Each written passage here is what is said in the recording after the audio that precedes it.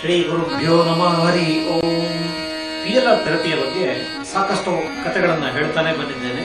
ಇವತ್ತಿನ ಈ ಕಂತಿನಲ್ಲಿ ಟೀಟೋ ಸಿಂಗ್ ಎಂಬ ಹುಡುಗನ ಕಥೆಯನ್ನು ಕೇಳ್ತೀರಿ ಸುರೇಶ್ ವರ್ಮಾ ಅಂತ ಒಂದು ರೇಡಿಯೋ ಅಥವಾ ಎಲೆಕ್ಟ್ರಾನಿಕ್ ಶಾಪ್ ಓನರ್ ಆಗಿದ್ದ ಆಗ್ರಾದಲ್ಲಿ ಸುರೇಶ್ ರೇಡಿಯೋ ಶಾಪ್ ಅಂತ ಒಂದು ಶಾಪ್ ಅನ್ನು ಇಟ್ಕೊಂಡಿದ್ದ. ಆ ವ್ಯಕ್ತಿಗೆ ಸಾಮಾನ್ಯ ನಡು ವಯಸ್ಸು ಅಂತ ಹೇಳ್ಬೋದೇನೋ. ಅಷ್ಟು ವಯಸ್ಸಿನಲ್ಲಿ ಒಂದು ದಿವಸ ಅಂಗಡಿಯಿಂದ ಮುಚ್ಚಿಕೊಂಡು ಮನೆಗೆ ಹೊರಟಾಗ ಯಾರೋ ಆಗಂತುಕರು ಅನಿರೀಕ್ಷಿತವಾಗಿ ದಾರಿಯಲ್ಲಿ ಗುಂಡು ಹೊಡೆದು ಸಾಯಿಸಿಬಿಡ್ತಾರೆ. ಆ ವ್ಯಕ್ತಿ ತಾನು ಅಂತ ಈ ಸುನೀಟೋ ಸಿಂಗ್ ಅನ್ನುವ ಹುಡುಗ ತನ್ನ ಪಾಲಕರಲ್ಲಿ ನಿವೇದನೆ ಮಾಡ್ಕೊಳ್ತಾ ಇದ್ದ. ಹೊಸ ಜನ್ಮದಲ್ಲಿ ಸುನೀಟೋ ಸಿಂಗ್ ಎಂಬ ಈ ಹುಡುಗ ಪಾಲಕರಲ್ಲಿ ಎಲ್ಲ ವಿಷಯವನ್ನ ವಿಸ್ತಾರವಾಗಿ ಗುರುಗಳ ಸಮೇತ ಹೇಳ್ತಾ ಇದ್ದ. ಇದನ್ನ ನೀವೀಗ ವಿಡಿಯೋ ರೂಪದಲ್ಲಿ ನೋಡ್ತೀರಿ. ವಿಡಿಯೋದಲ್ಲಿ ನಿಜವಾಗಿಯೂ ಆ ಹುಡುಗ ಮತ್ತು ಅವನ ಪ್ರಸಕ್ತ ಕುಟುಂಬ ಹಿಂದಿನ ಕುಟುಂಬದ ಕೆಲವು ವ್ಯಕ್ತಿಗಳನ್ನ ಮತ್ತು ಹಿಂದಿನ ಜನ್ಮದ ಅವನ ಅಂಗಡಿಯನ್ನ ಈ ತರದನ್ನೆಲ್ಲ ನೀವು ಒಂದ್ಸಲ ನೋಡ್ಕೊಂಡು ಬನ್ನಿ.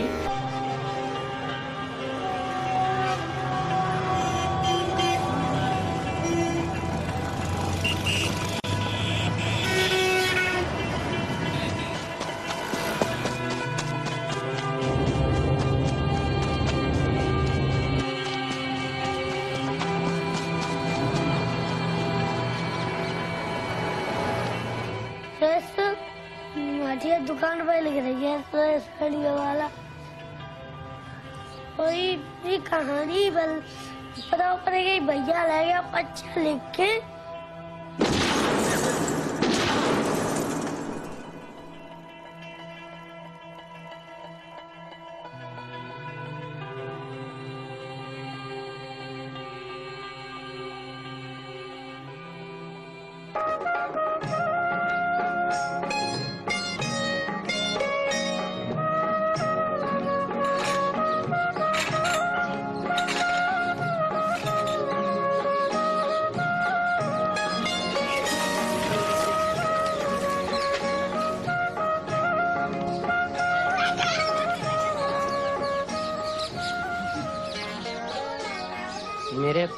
बालक हैं और तीन बालिका हैं। मेरे पास छह बच्चे हैं। टीटू सबसे छोट- बालक है मेरा। ढाई साल की उम्र में ये बालक ये बताता था कि मेरी माँ का नाम राजकुमारी है। मेरी बहू का नाम उमा है। मेरे पापा जी का नाम चंदा भारती है। तो हम लोग इस पे शक करते थे हम पूछते थे कि हम कौन है? तो ये बताता था कि हम तुम्हारे घर के नहीं है। अब जी पूर्व जन्म की बात बता रहा हो तो ये दुख दुख तो हमारे भयो ना हो। हमें तो अच्छा लगियो कि का कहते हैं जी हमारे यहाँ आएगो अच्छे घर को है और हमारी भी अच्छी परिवस्था हैगी तो भी आनो जानो बनते रिश्ता बनेगो हमारा जी बोले मम्मी, हम बोले जाते मन के ए बेटा। तुम कहा हैं हमारे यहाँ पैदा भैया जन्म लेके आई हो, फिर बोले, मम्मी, आपको धोखा दे के नहीं जाऊँगा मैं। मेरे यहाँ, मैंने तुम्हारे यहाँ जन्म लो है तो मेरे तो कहा हैं तुम माँ बाप हो और भी माँ बाप हो।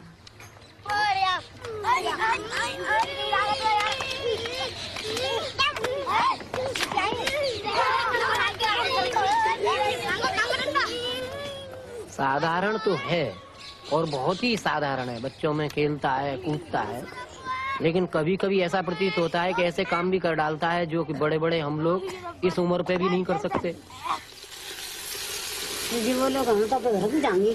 तुम पे कितने किलो लोट रहे हम पे जावाएँ हम तो आगरी हमारी दुकान है आगरी हमारे बच्चा है, हम इतना आएगी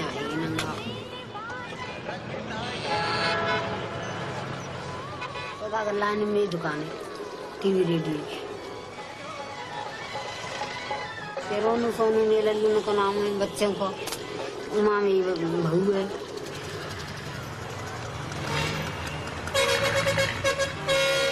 दुकान में शीशा टीवी रेडियो वीडियो सब चीज़ें हैं। इनकी दुकान है वो? मेरी? हम्म? मेरी और सारंगी भाई कोठी मेरी है। कपूरा भाई पैसे ले ले कपूरा पैसे छुड़ांगो राज़ी बा कोठी है सार भाई कपूरा भाई है। अब लग रहा हूँ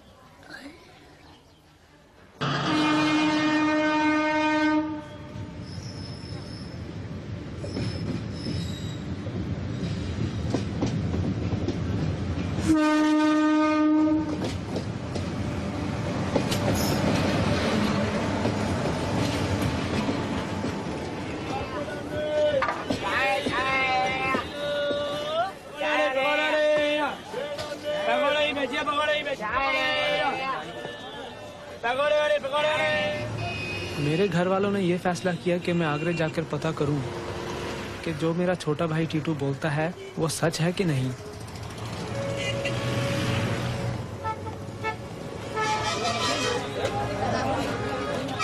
सुरेश रेडियो की दुकान मुझे वहाँ मिल गई और वो वाकई एक विधवा उमा की थी, जिसके पति का कुछ साल पहले खून हो गया था और उसके दो लड़के भी थे, जैसे टीटू बताता था। ये अजीब सा तो लगा ही मेरे को। फिर मैंने कहा लगा के चलो, देखें, बातें क्या हुई, कैसे हुई, क्या करना है, चलना है। सोचते रहे, फिर घर गई मैं शाम को। मैंने फिर पेरेंट्स लोगों से कहा कैसे ऐसे बात है? बोलो बोले कि, चलो, सुबह ही चलते हैं। सुबह सात बजे गई वहाँ।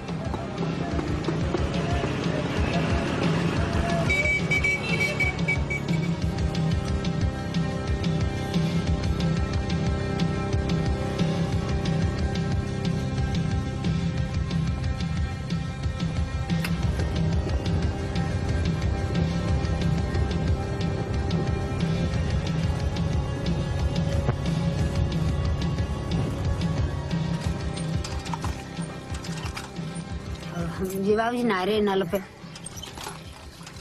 और टीटू बोलो कि पापा जी मेरे तो घर वाले आए तुम अभी नहा रहे हो नल पे। उमा उमा आई पापा जी आए माता जी आई सब आए। तो ये हम द्वार पे बैठा दे सगरे और टीटू बड़ा हिले मिलो ये तो बहुते बोले कि मम्मी जी खाट पे बैठी है यहाँ और बुलाला जाते दो बात करूंगो से और टीटू बोले ते में पहचान लो कि ना पहचानो? तो बोली ना पहचानो के रोनू सोनू पढ़ रहे हैं घर ही बैठे हैं? वो बोली तो धुन में डाल दी। दोनों बच्चे डाल दे धुन में। तो जी बोले अच्छा कि मैं पहचान कर अच्छी तरिया। कि मुँह पर ना पहचान नहीं कि हम धौलपुर दीदी के यहाँ गए कि माँ दोनों रोनू सोनू को लेके साथ मेला करने के लिए तो तुमने कहा कि तुम जलेबी खवाई हन तुम अब वो चुप है। जिम मेरा फ़ोटो है सुरेश का पहले का यहाँ जे जे को है तो कि जगह उन्हीं की जगह।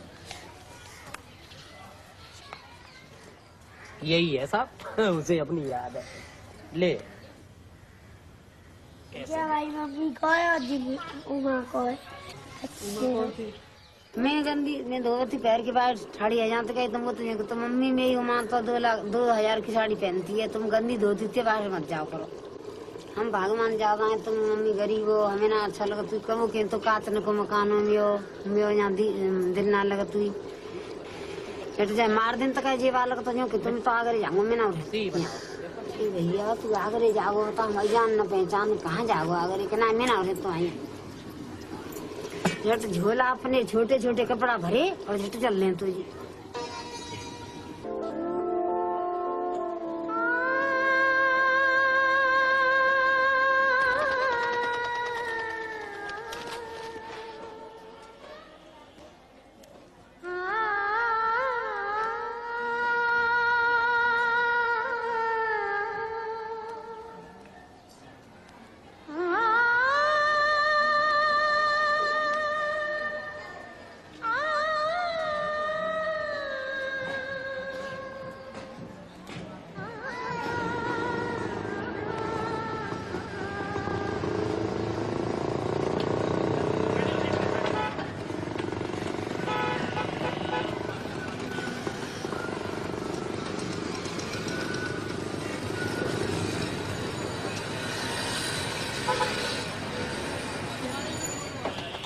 आजा भाई टीटू इधर आजा।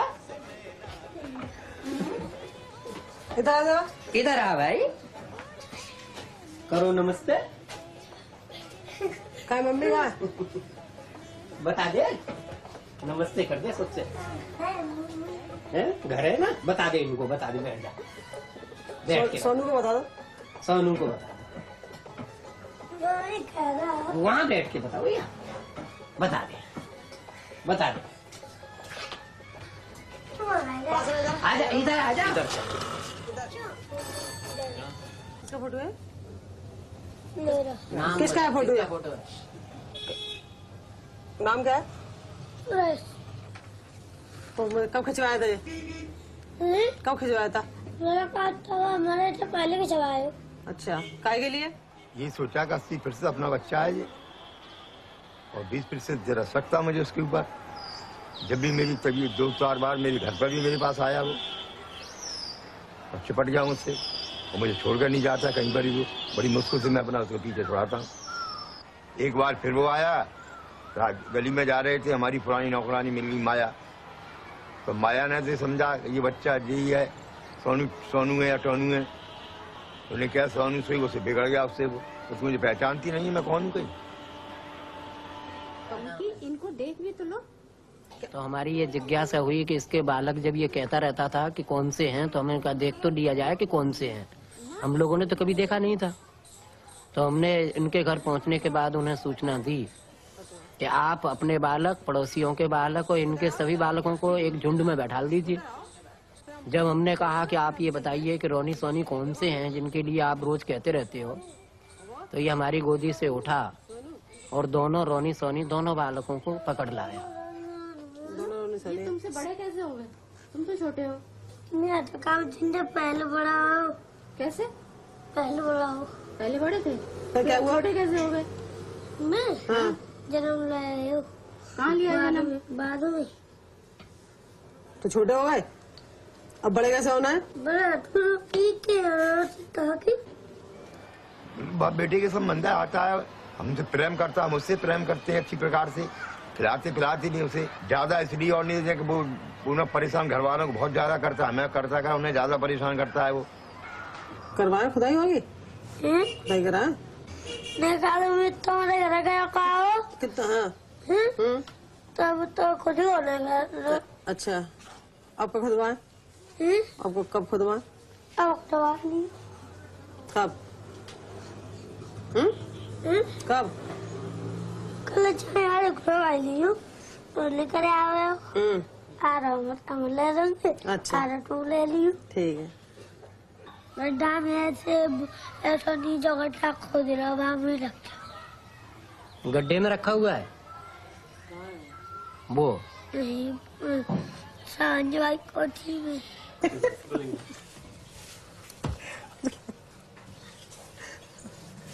तो फिर चले जाने। जाने चला गाओ चला चला घर में को रह रहे हो? कहीं दे उधर तो कोई नहीं रहे हो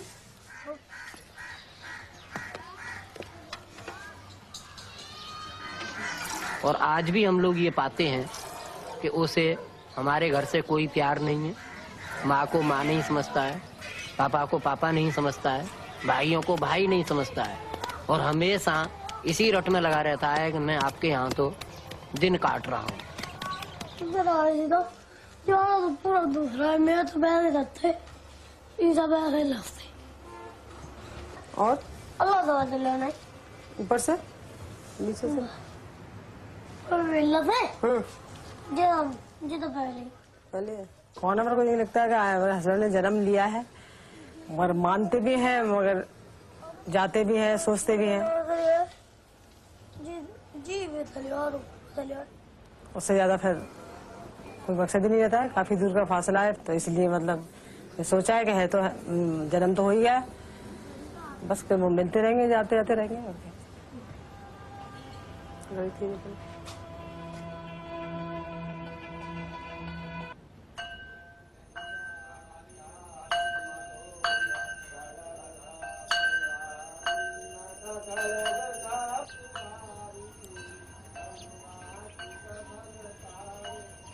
हम तो सर हैरान हैं इसलिए कि ये अपने को नहीं बदला और जब मान लो बड़ा हो गया तो उसके बाद में हम लोगों से संबंध ही बिल्कुल खत्म कर देगा।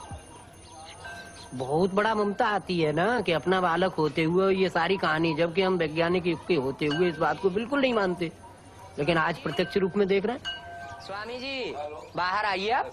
नमस्ते जी। ये मेरे घर एक ऐसा बालक आया है। कभी कहता है मेरे गोली मारी। कभी कहता है मेरे माता पिता तुम नहीं हो। कभी कहता है मुझे हॉस्पिटल ले जाने के बाद में शमशान भूमि ले गए। शमशान भूमि में आग लगा दी। आग लगाने के बाद में लोगों ने पानी डाल दिया और पानी डाल के मुझे यमुना में फेंक दिया। तो हमें ऐसा प्रतीत होता है कि पुनर्जन्म की या कोई विशेष बातें हैं। हमें समझा सकोगे आप? ऐसा है जन्म होने के बाद में बाल्यावस्था युवावस्था प्रौढ़ावस्था जो ये बनी रहती है इसी तरीके से हमारे देहांतर जन्म जन्म जन्मांतर चल, चलते हैं और ये अखंड रूप से चलता रहेगा। जिन व्यक्तियों की आकस्मिक मृत्यु हो जाती है उन व्यक्तियों को अखंड रूप से सत्ता का ज्ञान पूर्व जन्म का बना रहता है। ये सारी बातें इसे कब तक याद बनी रहेंगी? ये निरंतर बना रहेगा इसका। नहीं भूल पाएगा तो हमारे लिए तो बड़ी दिक्कत खड़ी होगी। नहीं ऐसा है। आहिस्ता आहिस्ता आपका प्रेम प्यार और आपका लालन पालन सामाजिक प्रभाव जब इस पर पड़ेगा तो उसका ज़रूर पड़सर पड़ सकता है। कम और बेश के अंदर मगर सत्ता का ज्ञान निरंतर बना रहेगा।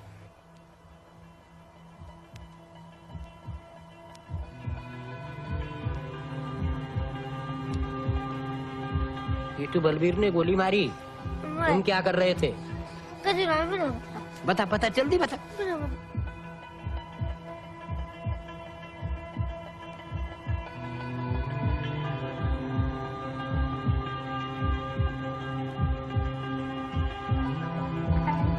तू कहाँ जा रहे हो? हुआ गए तो खोल किसान तो में ऐसे गए ऐसे कोने खाली मार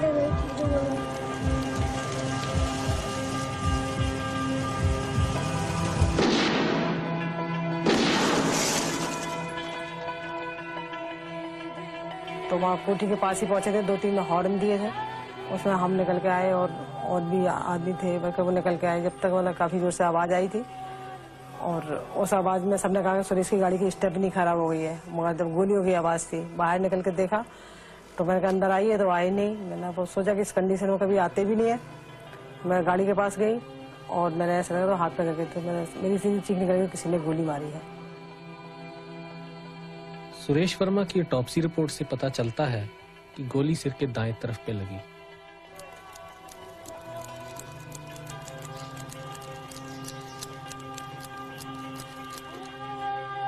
रिपोर्ट से यह भी पता चला कि जख्म कितना गहरा था और उसका कान से कितना फासला था हैरानगी की बात है कि टीटू के सिर पे एक जन्म निशान है जो रिपोर्ट के मुताबिक उसी जगह पे है जहां पर सुरेश को गोली लगी ಆಮೇಲೆ ಮತ್ತೆ ಮುಂದಿನ ಕಂತಿನಲ್ಲಿ ಹೀಗೆ ಸಾಕಷ್ಟು ಬೇರೆ ಬೇರೆ ವಿವರಣೆಗಳನ್ನ ನಿಮಗೆ ಕೊಡ್ತಾ ಹೋಗ್ತೀನಿ ಫಾಸ್ಟ್ ಲೈಫ್ ಅನ್ನೋದು ಸುಳ್ಳಲ್ಲ ಅಥವಾ ಆ ಒಂದು ಮೆಮರಿ ಜೀವನದ ಕಥಾನಕ, ಹಾಗೆ ನಮ್ಮ ಸುತ್ತ ಮನಸ್ಸಿನಲ್ಲಿ ಸಂಗ್ರಹವಾಗಿ ಮುಂದೆ ಸಾಗುತ್ತದೆ ಒಂದು ಜನ್ಮದಿಂದ ಇನ್ನೊಂದು ಜನ್ಮಕ್ಕೆ ನಮ್ಮ ಘಟನಾವಳಿಗಳು, ನಮ್ಮ ಜೀವನದ ಸಂಪೂರ್ಣ ಕಥೆ ಸಾಗುತ್ತದೆ ಎನ್ನುವುದಕ್ಕೆ ಇದು ಒಂದು ಪ್ರತ್ಯಕ್ಷ ಉದಾಹರಣೆ. ಹೀಗೆ ಸುತ್ತ ಮನಸ್ಸಿನಲ್ಲಿ ದಾಖಲಾದ ಅನೇಕ ಘಟನೆಗಳು ಅಥವಾ ಜನ್ಮಾಂತರದ ಘಟನೆಗಳು ಕೆಲವೊಮ್ಮೆ ವ್ಯಕ್ತಿಗಳಲ್ಲಿ ನೆನಪಿಗೆ ಬಂದ್ಬಿಡ್ಬೋದು. ಆ ನೆನಪಿಗೆ ಬಂದ ಕೆಲವು ಘಟನೆಗಳು, ಕೆಲವು ಅಹಿತಕರ ಸನ್ನಿವೇಶಗಳನ್ನ ಎದುರಿಸುವಂತೆ ಮಾಡಬಹುದು. ಅಂತಹ ಒಂದು ಸಮಯದಲ್ಲಿ ಅವರಿಗೆ ಪೂರ್ವ ಜನ್ಮದ ಸ್ಮರಣೆ ಪೂರ್ತಿ ಆಗಿರುವುದಿಲ್ಲ. ಆದರೆ ಮಾನಸಿಕ ತೊಳಲಾಟದಲ್ಲಿ ಗಲಿಬಿಲಿಯಲ್ಲಿ ಗೊಂದಲದಲ್ಲಿ ಅವರು ಬಹಳ ಕಷ್ಟಪಡಬೇಕಾಗುತ್ತೆ. ಅಂತಹ ಸನ್ನಿವೇಶದಲ್ಲಿ ಫಾಸ್ಟ್ ಲೈಫ್ ರಿಗ್ರೆಷನ್ ಮಾಡೋದರಿಂದ ಅವರ ಸಮಸ್ಯೆ ಯಾಕೆ ಹಾಗಿದೆ ಏನಿದೆ ಅವರ ಮನಸ್ಸಿನಲ್ಲಿ ಅನ್ನೋದು ಸುಪ್ತ ಮನಸ್ಸಿನ ಆ ಸ್ತರಗಳಿಂದ ಮೇಲಿದ್ದು ಬಂದು ಗೊತ್ತಾಗ್ತದೆ, ಅದೊಂದೇ ಅಲ್ಲ ಫಾಸ್ಟ್ ಲೈಫ್ ರಿಗ್ರೆಷನ್ ಥೆರಪಿಯಿಂದ ಅಂತಹ ಸಮಸ್ಯೆಗಳಿಂದ ಬಿಡುಗಡೆ ಮಾಡಲಿಕ್ಕೆ ಸಾಧ್ಯ. ಯಾವುದೇ ಸಮಸ್ಯೆ ಇರಲಿ, ಅಲ್ಲಿ ಅಂತಹ ಸಮಸ್ಯೆಯನ್ನು ಪಿನ್ ಪಾಯಿಂಟ್ ಮಾಡಿ, ಎಲ್ಲಿದೆ, ಏನಿದೆ, ಏನಾಗ್ತಾ ಇದೆ, ಯಾವುದರಿಂದ ಪ್ರಸಕ್ತ ಜೀವನದಲ್ಲಿ ತೊಂದರೆ ಕಾಣಿಸ್ತಾ ಇದೆ ಅಂತ ಅದನ್ನು ಕಂಡು ಹಿಡಿದು ಅದನ್ನ ಅಲ್ಲಿಯೇ ನಿವಾರಿಸಲು ಸಾಧ್ಯವಾಗುತ್ತೆ ಅದಕ್ಕೆ ನಾವು ಆಧ್ಯಾತ್ಮಿಕ ಶಕ್ತಿಯ ಆಶೀರ್ವಾದವನ್ನು ಪಡೆದುಕೊಂಡ್ರೆ ಬಹಳ ಉತ್ತಮವಾಗುತ್ತೆ. ಅಂತಹ ಸನ್ನಿವೇಶದಲ್ಲಿ ಯೂನಿವರ್ಸಲ್ ಎನರ್ಜಿ ಅಂತ ಹೇಳ್ಬೋದು, ಅಥವಾ ಗುರುಶಕ್ತಿ ಅಂತ ಹೇಳ್ಬೋದು, ಅಥವಾ ಶಕ್ತಿ. ಹೀಗೆ ಬೇರೆ ಹೆಸರುಗಳಲ್ಲಿ ಅದನ್ನ. ಅಂತಹ ಶಕ್ತಿಯ ಸಹಾಯದಿಂದ ಪೂರ್ವ ಜನ್ಮಗಳ ತೊಂದರೆಗಳು ಏನಾದರೂ ಇದ್ದಲ್ಲಿ ಅದನ್ನ ಪ್ರೇರಿಸಿಕೊಳ್ಳುವುದು ಸಾಧ್ಯವಾಗುತ್ತದೆ ಧನ್ಯವಾದಗಳು ನಮಸ್ಕಾರ